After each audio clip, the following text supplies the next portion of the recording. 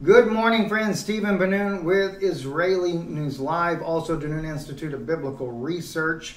Uh, Revelation chapter 13. Going to be examining this book today, and uh, you're going to, ooh, wow, we're going to really turn this one on its head. Uh, well, no pun intended there, speaking about the seven heads, uh, the ten horns there of the beast himself. But I'm going to present some thoughts for you and more of a conjecture. It's not, uh, or maybe I shouldn't even say conjecture, maybe I should say an observation that I've made. And as I begin to look at this chapter, I have really begun to look at this in a completely different way. Uh, excluding the part of the mark of the beast. Now, I know there's a lot of debate right now going on about the mark of the beast a lot of people are associating that with the mandate that the world has placed on people. They have to get this uh, thing placed in their arms, put in their bodies, which we are 100% against. But yet, you got people out there that are just, oh gosh, I, I don't know, maybe it just makes them feel fuzzy inside to say, oh, Steven and Yana, they they they they don't say that like we say it. They don't believe our doctrine, and so therefore they're encouraging people to follow the mandate. Nothing can be further from the truth. Um, completely. Well, I guess that's the biggest fake news I've heard since I started the ministry. But anyway, uh, but I understand, I understand. Seriously, I do understand the passion why people may believe this and um, and I can I can certainly uh, respect that because something so serious as the mark of the beast is nothing to be taken lightly. Uh, and I know uh, the the brother that actually began this doctrine. Um, I've always had a great respect for him, and uh, but I just clearly have to say I disagree with it. And if anything, I, would have to argue the opposite when it comes to what this is doing to the body of Christ, because there are many people that took this uh, mandate into their arms uh, that were believers that had no clue uh, and, and, we might even argue there was no, there were the teaching of this doctrine had not yet evolved, and so therefore they're just automatically marked, cursed, gone to hell. And even if I argue the issue of you know a child or like in Australia and some other countries where they forcibly place this into people, uh, I get people write me and they say, oh, they're, they're exempt. Wow, that's interesting. According to the book of Revelation, if you receive that mark, there is no exemption process for you. So there again, that's just apologetics, like we have so many apologetics, uh, people that write apologetics on biblical scripture, because it really doesn't make sense in some cases. And so they just have to make up some kind of story to make that doctrine sound good. I think the Bible can stand on its own, doesn't need anybody to make up a story. But at any rate, I, uh, I, I want to present some thoughts for you, and I, I, would have to call this more an observation, not even a conjecture. We could say it's conjecture, but uh, observations that I've been making on Revelation 13. Uh, and it might also help uh, in, in this process of teaching this, it might help uh, some of you that are listening and are concerned about uh, this issue of is this mandate that's going around the world the mark of the beast or not? Uh, I, I, think it would really help to, uh, to understand that because it's kind of like having the cart before the horse. You know, everybody wants to put the mandate now, the mark of the beast is here already now, and yet it comes to uh, the beast and the rising and the image into the beast, none of these things are here yet. And, and granted, maybe that's all been explained away in, in the uh, doctrine that's, that's being perpetrated around the world. I'm to try not to bump uh, anything on my on my um, mouse pad here because I have electric, a lot of electrical charge in my body, always have, and I don't have to actually touch that pad. It'll just work on its own for me because of the charges in me. Let's take a look at this. And I stood upon the sand of the sea and saw the beast rise out of the sea, having seven heads and ten horns, and upon his horn ten crowns. Upon his heads the name of blasphemy. Now, if you notice, I have on here, rise up out of the sea. Let's keep our mind on where that beast comes from. And the beast which I saw, verse 2, was like unto a leopard, and his feet were as the feet of a bear, and his mouth as the mouth of a lion. The dragon gave him his power and his seat and great authority. Okay? That's Satan. Satan gives him his power and his seat and great authority. And I saw one of his heads as it were wounded to death, and his deadly wound was healed. And the world wondered after the beast. All right? The world wondered after the beast. Now, I found that also interesting. We know that he has a deadly wound. But that wound was healed. So let's keep that one in mind as well. And they worshiped the dragon, which gave power unto the beast. And they worshiped the beast, saying, Who is like unto the beast? Who is able to make war with him? Now, this one is very important. And I can tell you from even teachings I've done in the past, I have had a field day with it. I've placed the Catholic Church in that position. Uh, you know, who's able to make war with the Vatican? But yet Israel is fully planning on making sure she's at the bottom of the ocean.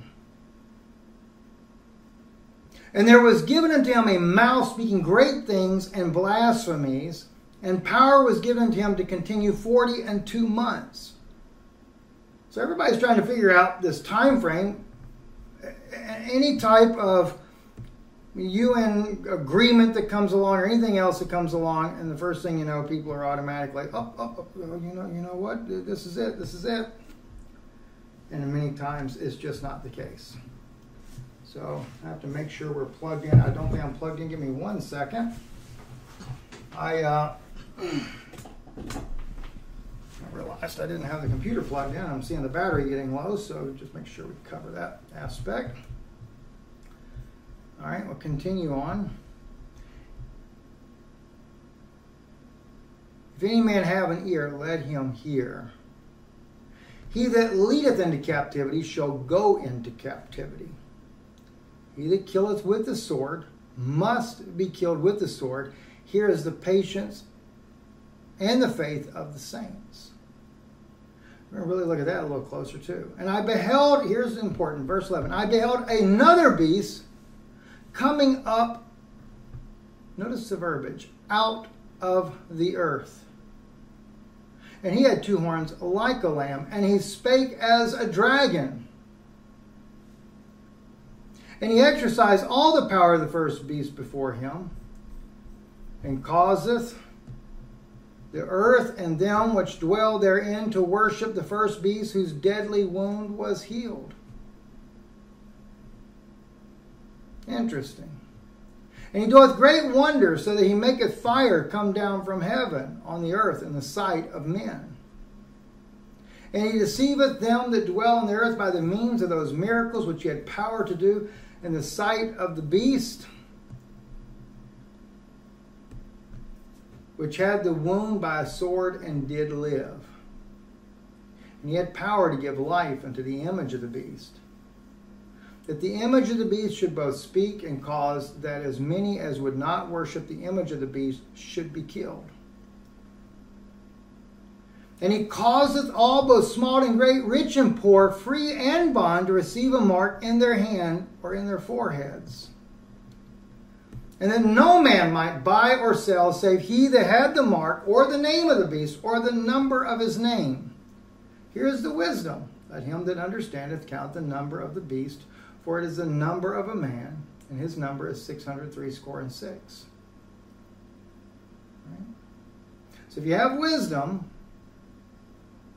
the number of the beast is 666, uh, from what I understand all this here. Now, there's some key factors here that a lot of times we're overlooking. And this is, like I said, complete conjecture. It is an observation. It's things that I have learned from working years of Intel.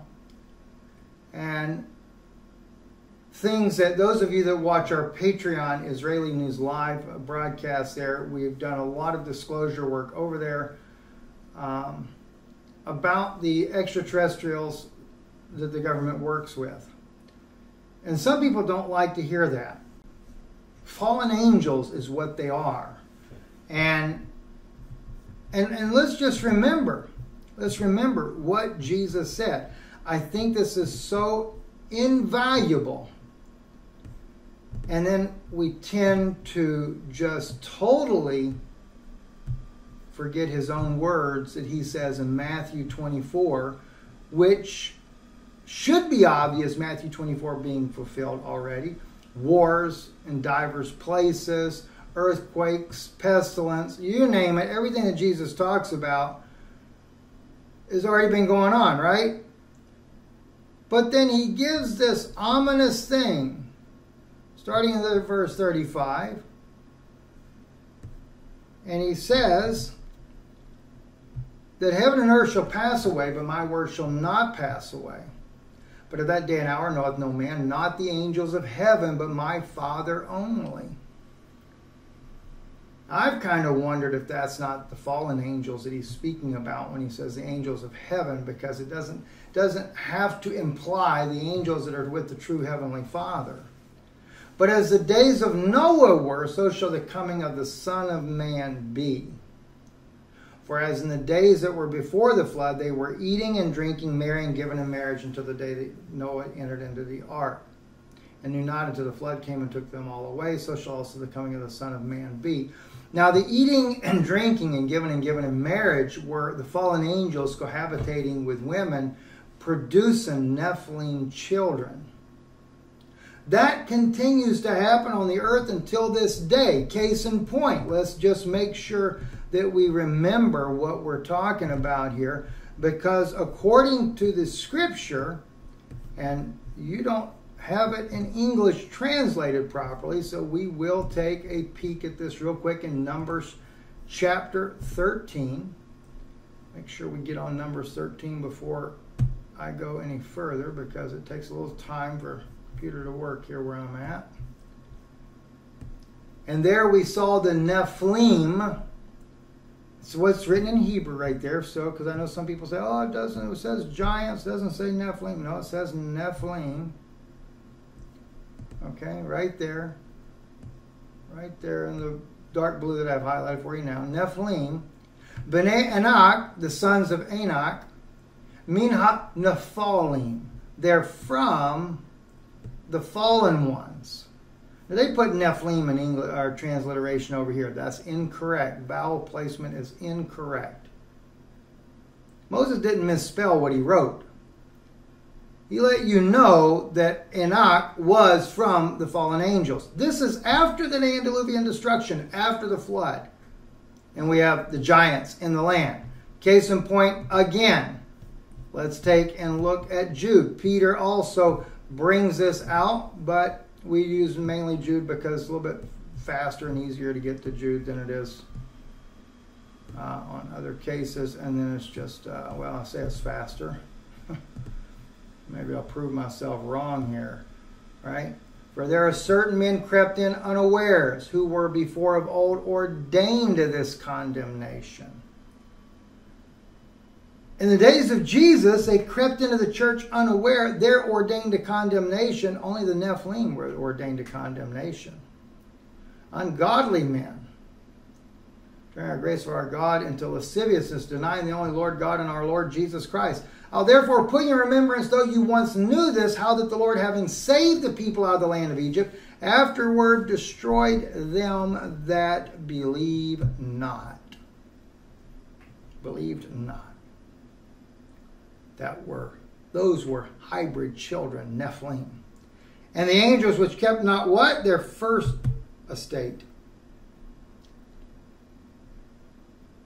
He's bringing into remembrance who, what? These ones that crept in unaware. All right?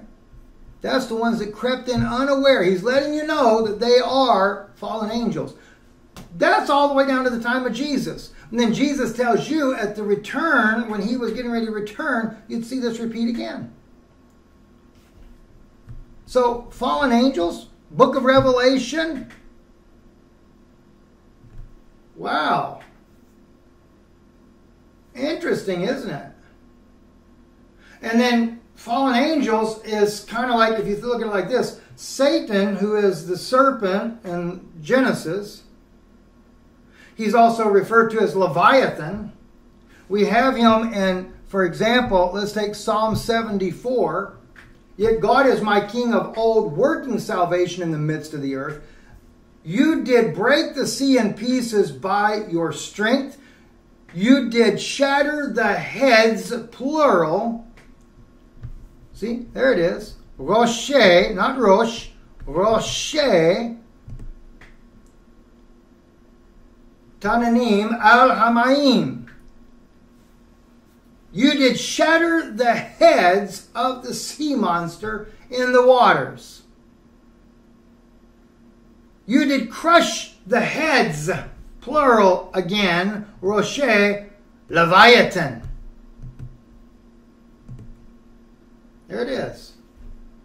Leviathan has multiple heads. You did cleave fountain and brook. You dried up overflowing rivers. Do you know what he's saying in verse 15? He's the same God that parted the Red Sea. He's the same God that for Joshua parted the Jordan River. And the same God that did that is the same God that crushed the head of Leviathan. Now, what's interesting is even in Psalm 74, that word really is like a wound. Didn't mean he died. I stood upon the sand of the sea and saw a beast rise up out of the sea. All right, let me back up. I got to back up again. I know I'm going to lose you if I don't. Psalm 74. Why did I mention verse 15? You did cleave fountain and brook, and you dried up ever flowing rivers. It's a time frame. God is showing you when Leviathan's head was wounded. It was at Moses' time, it was in Egypt. That's when he did it. Now, isn't it interesting? Ra, it's actually pronounced Ray, according to this here. Ray represents sunlight, warmth, and growth, right? But anyway, the, the, the god of Egypt, Ra, was usually depicted in human form. He had a falcon head, which was crowned with a sun disk. This sun disk was encircled by a sacred cobra named uh, Uraeus. Ra has also been depicted as a man with the head of a beetle, also a human with the head of a ram. The ancients also depicted Ra with full species from such as a serpent, heron, bull, lion, cat, ram, hawk, beetle, phoenix, and others. His main symbol, however, is the sun disk. They also have depicted an alien with a gill face. Why a gill face? All right. Let's pause just for a minute. I got to pull that picture up, and I don't think I have it on this computer. Let's just pause for a second. Here's that uh, the photo that was sent to me of this fallen angel, this alien being a little bit of a cone head shape as well, but notice the gill looking face there. Now, what's ironic, what was told to me is that that type of being, that alien being, that is in communication not only with our government, and it's not like the president or somebody like that. These are people that are um, specialized in dealing with these type of entities and they're also in uh, uh, negotiations with the United Nations. They are one of the two species that are planning on taking over this planet. And their plans have been in the making for a long time. They live in the oceans of our world. And they're coming up. It's interesting too, depicted to the right, the Pharaoh that is there appears to be, uh, uh, uh, uh not, uh, what, is what is his name now? I forget the name of this one. I believe he's the one that actually brought in the one God worship, uh, Atanakin or something like that. He's also believed to be the Pharaoh that was there during the time of Moses. But this creature here, in the different meetings I've been in has been disclosed that he is representing, he is second in command, he represents the God of Ra, or is the God of Ra, the Egyptian sun god. And he's not dead. And claims to be that he's been there, he's still alive since the days of Egypt. Now, you couple that with the fact the scripture says here that what? Let's let's get to the right one here, sorry. I saw a beast rise up out of the sea, having seven heads, ten horns, and upon his horns ten crowns. Now, as I mentioned to you, Ra is also depicted as a serpent. What do the crowns represent? Things of that nature? I, I, I can't say. Like I said, I'm only sharing with you some thoughts from observation that I've made on this. So, now, one of his heads, as it were, wounded to death, and his deadly wound was healed, and the world wondered after the beast. As I mentioned to you in Psalm 74, the head of Leviathan was crushed or wounded and you did cleave you did cleave the fountain and brook, and thou dried up the, the flowing rivers. As I said, Psalm 74 shows that the, the, the wounding of the head of Leviathan could have easily been at the time of Moses. I also look at the fact that when Jesus was on the earth, he also clearly as he exposed the Pharisees, and maybe we'll go back to that one real quick. He exposes the Pharisees to who they really are in Psalm 23. Uh, he also speaks about how that they are the children of those that killed the prophets. And, uh, and let's see, here we go, right here. And he said that they're serpents, generation of vipers. Literally in the Hebrew, genealogy or family of vipers. And we could argue that Jesus, and I've taught this before, that he wounded, because literally the scripture of the wounding of the head of the serpent would be by the woman's seed. And that was Christ. Christ is the one that actually gave the real fatal blow. Because up until the time of Christ, we had not gotten rid of the serpent. And we know that the mingling of the seed had continued on. In fact, if you look, for example, here at Revelation 17, let me just share this with you real quick, right? And there came one of the seven angels which had the seven vials talk to me, saying, unto me, Come here, I will show unto you the, the judgment of the great whore that sits on many waters. That's another interesting, right? She sits on many waters. Mm. With whom the kings of the earth have committed fornication, and the inhabitants of the earth have been made drunk with the wine of her fornication. Normally, we look at the, the waters as representing peoples, but in the case of the fact that we know the beast comes out of the sea, and we know that there is a mingling of this genetically mingling with the fallen angels, again, as Jesus said it would be in this last day. maybe there's a different meaning in this altogether as well. The hybrid children, with whom the kings of the earth have committed fornication, right? So he carried me away in the spirit in the wilderness. I saw the woman sitting upon a scarlet colored beast full of names of blasphemy, having seven heads and ten horns. Well, it's exactly Revelation 13. And the woman was arrayed in purple, scarlet color, decked with gold and precious stones and pearls, having a golden cup in her hand, full of abomination and filthiness of her fornication. Upon her forehead was written was a name written, Mystery Babylon, the great, the mother of harlots and abominations of the earth. Mystery Babylon. Why Mystery Babylon? Well, that should be the most obvious scripture of all. Ezra. When the children of Israel were still in Babylonian captivity, we find out the princes drew near unto me, saying, The people of Israel and the priests and the Levites have not separated themselves from the peoples of the lands, doing according to their abominations. He wasn't talking about Babylonians. Babylonians not even mentioned. The Canaanites, the Hittites, the Perizzites, the Jebusites, the Ammonites, the Moabites, the Egyptians, and the Amorites. Wow, the Egyptians are there too. Isn't that astonishing? What did all these nations have in common?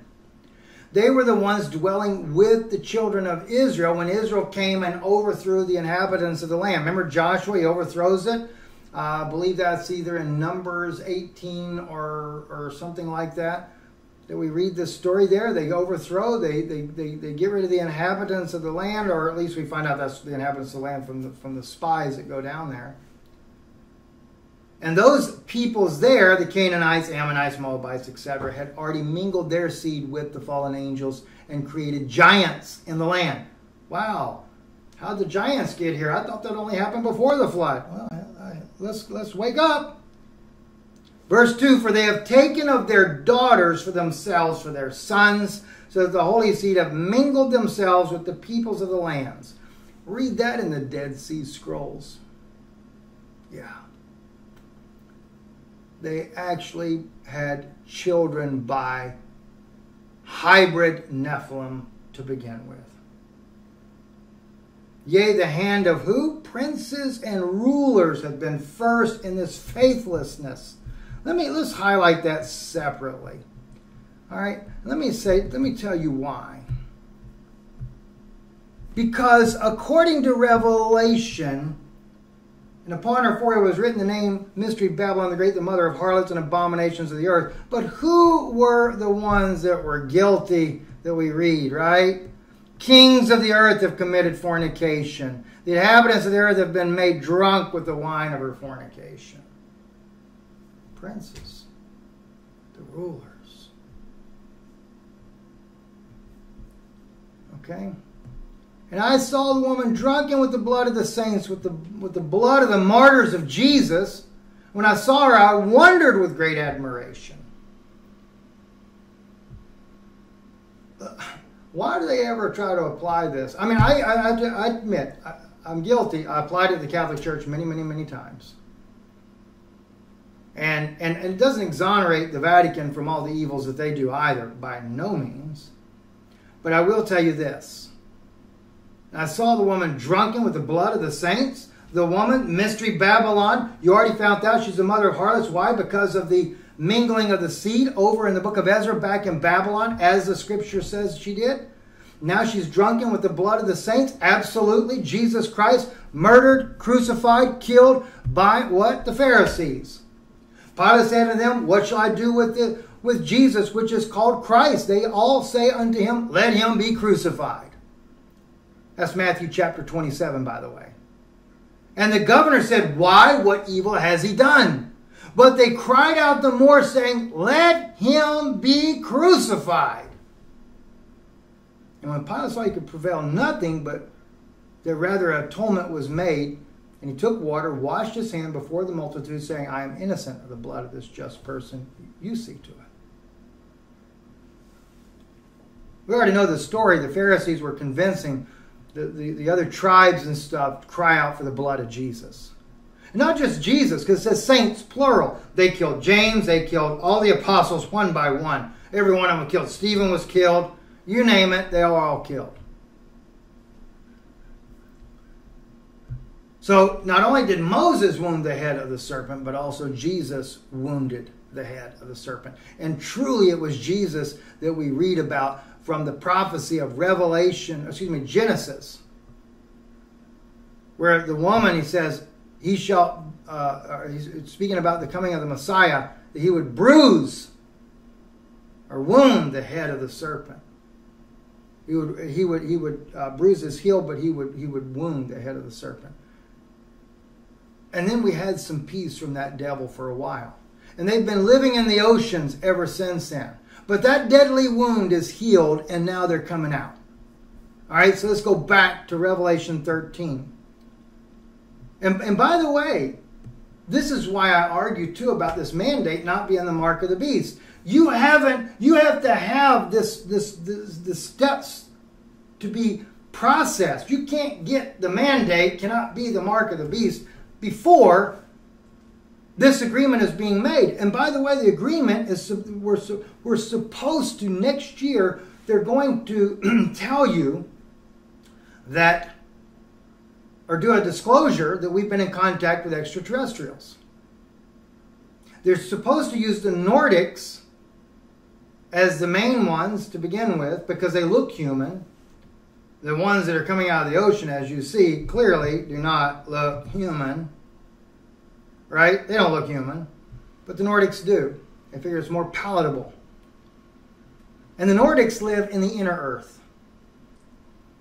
I guess I don't go over too good with flat earth people, but maybe it would because you don't have to have a, you, you can do it any way you want to figure that one out. They still have a place in there where they can get inside, right? So maybe that'll help you. All right, so that beast comes out of the sea, as we saw already. Let's move further down. Who is able to make war with him? I said I wanted to come back to that. Everybody argues, they might say nobody can make war with Israel, nobody can make war with the Vatican, but yet they, they make war with Israel all the time. But one thing unanimously, hands down, no nation, no general, no no one that knows anything about alien technology, they will tell you we have no way to defeat them. I hear this in meeting after meeting after meeting. Their technology is so advanced. There's no way we could ever win. And even yet, we have gotten technology from them. We still have no ability to defeat them.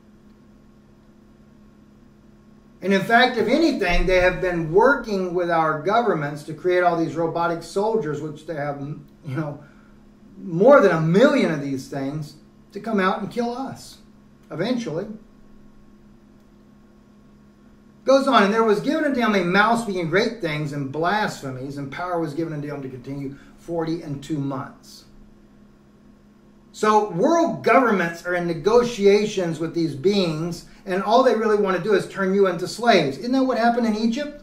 Isn't that what the pharaohs were doing? Not only did they enslave the Jews, they were enslaving other nations as well. Yeah, that's what they were doing enslavement and depopulation agenda. Isn't that what they did in, in Egypt as well? Isn't, wasn't it the fact that Pharaoh ordered all the firstborn of the Israelites to be killed because he was afraid there was too many of them? And if there's too many, they might overthrow us? And by the way, even though these governments say that we can't defeat them, who is able to make war with him? I've been told many, many times, you're more powerful than you realize you could overcome. If the world's human population ever truly woke up, you could defeat them. But the problem is, they know the people won't wake up. They control the media, they control politics, they control churches. Yeah. The Vatican is the biggest intermediate organization with extraterrestrial fallen angel life on the planet. You'll learn this over on Patreon at Israeli News Live on Patreon. We talk about these things. There was given to him a mouth speaking great things, blasphemy powers given him 42 months. We read that already, right? He opened his mouth and blasphemed against God to blaspheme his name, his tabernacle, and them that dwell in heaven. Do you know this is what the, the issues are about right now? I've been made uh, a part of the information that is that they, they speak to the officials here and the religious overtones and their plans, what they're going to use to even deceive the very elect. They are coming to say they are your creators. And of course, Ra is supposedly the guy that, just like the story of the Bible, he's the one God, not a multiple gods, and he created everything. The stories are almost duplicate. That's fascinating. But he ended up getting wounded and being driven out of Egypt. They're going to say they left Earth, they put everything in great order. We were supposed to be able to live in peace, no problems, and they come back and find everything in a mess. That's one of their narratives. They're going to tell you they sent Jesus. They're going to tell you about what happened. They're also going to tell you that uh, it wasn't Satan that killed the killed Jesus because they say that Satan knew the Bible better than you do, and therefore he knows that Jesus would be coming. He would never be a part of his death. But yet, as I sent back to the team, I told them, I said, You failed to realize Satan didn't know that Jesus truly was the Messiah because he said when he was tempting him in the wilderness, If thou be the Son of God, turn the stones into bread. If thou be the Son of God, you have power. As the scripture says, though you dash your foot against the stone, the angels are there to bear thee up. Throw yourself down. Prove to me you're God. See, Satan didn't know for sure who he was. So their argument is moot, in my book anyway. But they're going, he's given a mouth. And the reason why he blasphemes God is because he'll claim to be God. That's what Ra claims to be. He's coming back, and his deadly wound is healed. And it was given unto him to make war with the saints, to overcome them, and power was given him over all kindreds, tongues, and nations. Just like in the days of Jesus. They came against the saints. They're going to do it again. The true believers, they're going to try to crush. And what's sad is the evangelical community and messianic communities are all pushing that Israel is the great beacon on the hill over here. And, and the messianic community, community, like Shapira, goes out and tells the people, you need to be under the rabbis. But yet recently he's sitting there bashing uh, Yosef Mizrahi, the uh, Jewish rabbi out of New York, and I'm thinking to myself when I listen to it, it's not, I mean, I appreciate that he, he was trying to put Rabbi Mizrahi in his place. But the funny thing is, is he just got through telling the world back uh, two years ago that you need to be under the rabbis and submissive to them until the Messiah comes. Jesus already come, Yitzhak Shapira. He already come. And he already put them in their place. And no, we don't need to be under the law. He come to deliver you from this. So they make war with the saints, overcome them. And all that dwell on the earth shall worship him, whose names are not written in the book of life of the Lamb slain from the foundation of the world. If any man have an ear, let him hear. He that leadeth into captivity shall go into captivity. He that kills with the sword must be killed with the sword. Here's the patience and faith of the saints. I find that interesting as well because that's exactly what happened back in Egypt. Pharaoh ordered the deaths of all the Israeli children, and then later God comes down in a war with Moses against Pharaoh and, and Ra, you might say. Uh, he kills all his firstborn as well. So that took out a lot of Nephilim children, didn't it? Hmm, wow, what do you know? And I beheld another beast. Here, is, here comes the other part. Coming out of the earth. And he had two horns like a lamb, and he spake as a dragon. Now, I have a conjecture about this one as well. The other entities that are wanting to take over the earth, as I said, live in the earth as well. Whether it be the reptilians or the Nordics, I don't know which one it's going to be, but the reptilians want to control this world as well. So it may be the reptilians. And I think the timing of them coming out of the earth and out of the ocean has to do with the heating up the core of the earth and the heating up of the oceans because of the volcanic activity. They're not going to be able to stay down there no way. So they have to move forward with their plans. Just like the mandate, as I disclosed to you guys uh, already, this was this mandate, the very thing that they put in your arm has been worked on since World War II.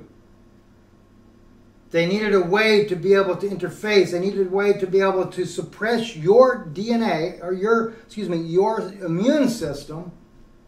And so they developed a, a um, DNA regenerator and they're injecting you a live virus called black goo.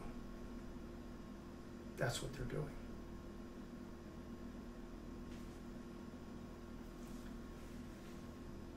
And he exercised. So the beast comes out of the earth.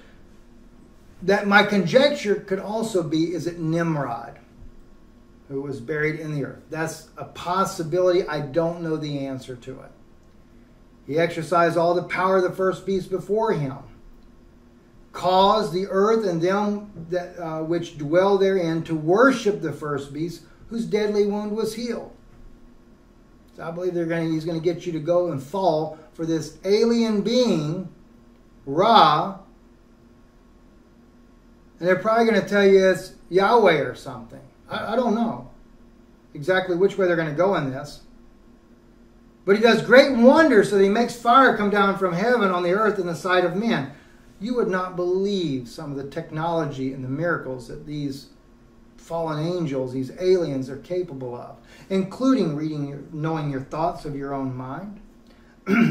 uh, I mean, you'd be surprised at the technology. Yeah, they can make fire come down out of heaven. They can do that as well. I've been told many, many stories about the different miracles and things that they're capable of doing. And people will just fall for it. And Israel, by the way, is going to be the seat where they do this from. This is why there's such a big push. And this is why I'm very concerned about the Christian community, like the evangelical world, right? This here, what do evangelicals want with Israel? A new documentary goes looking for answers. Now, I don't I'm not saying the documentary is accurate, good, or whatever. I've not, not seen it. But what's interesting in here is the support that Israel gets that, the, that, that is brought out through this. And uh, one case in point in blue here, there are clear demographics in this case. The generous estimates of Jews in the world are under 20 million, whereas in the, the not so generous estimates of evangelical Christians, it is 600 million and growing. There's more support by evangelical Christians going into Israel than there is from the Jewish uh, community. In the millions, millions. Uh, let me read this one part here for you as well. I think this is important for you to know this part here. So let's let's let's look at this one here. Today it is really colored as something that you cannot argue with because only if you're against Israel will you turn down support for Israel. But I do not think you really need to look into this relationship because many of the things communities are pushing for are considered by many Israelis as the opposite of support. I'll give you an example. When the American Christian organization, Christians United for Israel, visits Washington, in the film you see 5,000 evangelicals teach what they should say to their representatives in, Cap, uh, uh, in Capitol Hill and ask them basically to push then President Trump to cut aid to the Palestinians. In that moment, as an Israeli, I'm standing there listening to that and knowing that the security community of the State of Israel is extremely against cutting the aid because the security community of the State of Israel knows what it means to have humanitarian crisis on our borders. Wait a minute, is this support of Israel or is it actually promoting a very specific agenda, which is quite an extreme right wing agenda about this place? Basically, what happened is that yes, Trump did cut the support to the Palestinians. Therefore, the Palestinians didn't have a way to be able to pay their, their police to be able to keep things in check on that side, and it caused a catastrophe for the Jews on the opposite side. That's one of their arguments, right? All right, and you know, different arguments can be made. I'm not going to get into the arguments there, but the point is the growing evangelical messianic movement that has lifted Israel to such a status, godlike status uh, on the earth there, and the people saying that the law is going to come out of Israel, and they're all putting that prophecy in the future when Jesus Christ was the fulfillment of that law. And then you're going to take and you're going to lead the people right in to an Antichrist system. And by the way, President Trump just came out publicly and said, too, he'd have done a better job than Biden if he were president the people would have followed him right into taking the mandate. One of his greatest supporters that I know personally, that not only supported him, but also advisor to him, said if he got back in, he'd be fearful now because of his close connection with the extraterrestrials. his warm embrace of them. And he said, because the people trust him wholeheartedly, they would follow him right into that trap. And he knows what's going on. He knows that these demons are coming to take over this earth. Remember the scripture. You know, you say that, oh, that can't be. Oh, there's no such thing as aliens. A- aliens, devils, demons, okay? Nephilim, fallen ones, Nephilim, however you want to put it, whichever way you want to look at it, they're coming. And the scripture says that Satan knows what he has but a little time. When he's done what? He's let loose. His angels are let loose. Remember, I did that teaching a little about a year ago about Gog and Magog, and I told you I said it's not what you think it is. We're on. It's on this side of the, of, of the river that you're going to see it. And I said it's not going to be the, the battles that you think that is oh it's Turkey and all of them and everything. No, no, no, no, no, no, no. It's going to be it's going to be these fallen angels, and it's going to be the battle is going to come against us. He's given power to wage war with you. And he deceives them to dwell on the earth by the means of the miracles which he had. Verse 14 we're in now. Saying to them that dwell on the earth that they should make an image to the beast which had the wound by a sword and did live. Nobody's made that image yet. But you've already got the mark, right? Nonsense. He had power to give life unto the image of the beast, that the image of the beast should both speak and cause as many as would not worship the image of the beast should be killed. You know, my wife brought out a very interesting point. She said, if the mandate that they stick in your arm is supposed to be the mark, why are they dying? You're supposed to live if you get the mark. It's the ones that don't go along. And, and we haven't got to the mark, actually. We're just talking about if you don't worship the image of the beast, you should be killed. But yet, it's the ones taking the mandate that are dying. And he caused all, both small, great, rich, and poor, free and bond, to receive a mark in their right hand and in their foreheads, and that no man might buy or sell, save he that had the mark, or the name of the beast, or the number of his name. Here is the wisdom. Let him that understands count the number of the beast. It is the number of a man. His number is 603 score and six. Just remember, they know the biblical prophecies as well. And that's one thing we talk about in these private meetings they're also working to make it look like prophecy is being fulfilled. That's why they want you to think this mandate is the mark when it's not.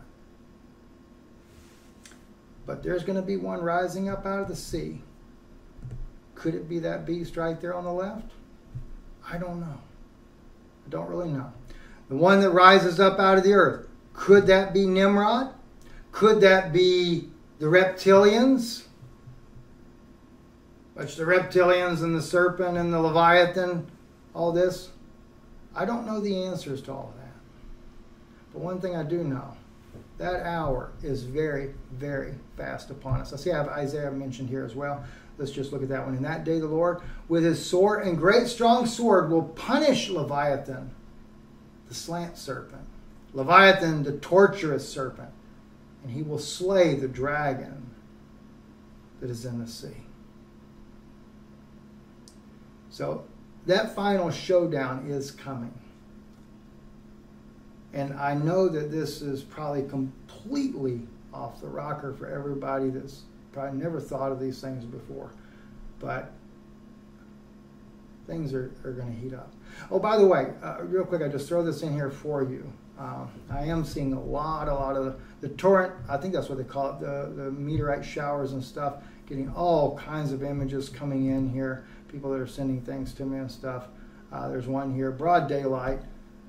I, I, was told though that 80%, here come right side of the screen, there it is, there you go, there it is. Uh, 80% of the meteorites are going to hit the oceans, the one here for October, that is.